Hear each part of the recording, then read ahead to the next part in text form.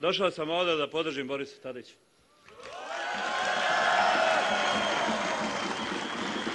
Bez oklijevanja, bez zadrške, bez imalo razmišljanja o tome da li to treba da učini. Boris, ja dijelimo zajedničke vrijednosti. Prošli smo kroz teške neke trenutke i odluke. I uvjeren sam da boljeg izbora za Srbiju nema od Borisa Tadića. Ja hoću da dođem ovdje ovaj Novi Sad, u Banja Luku, u Niš, u sve naše gradove u Bijeljinu, kad ne budem predsjednik. I da odam kroz ovaj grad. I da me vi sretnete i kažete, poštovanje gospodine Dodika, ne da pljujete za mnom kao za ovim iz opozicije.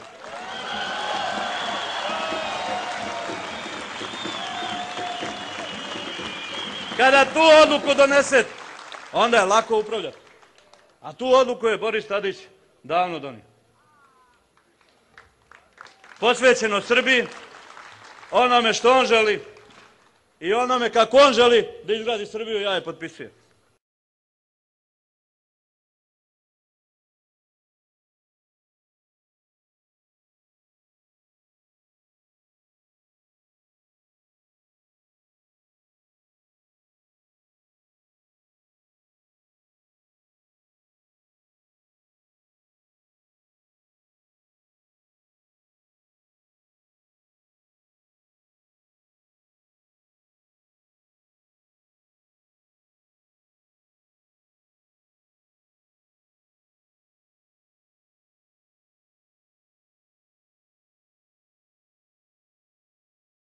Stari predsjednik Srbije.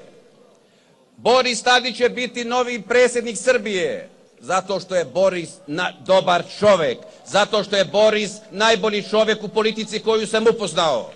I zato što Boris Tadić zato što Boris Tadić ima viziju. Ne možete biti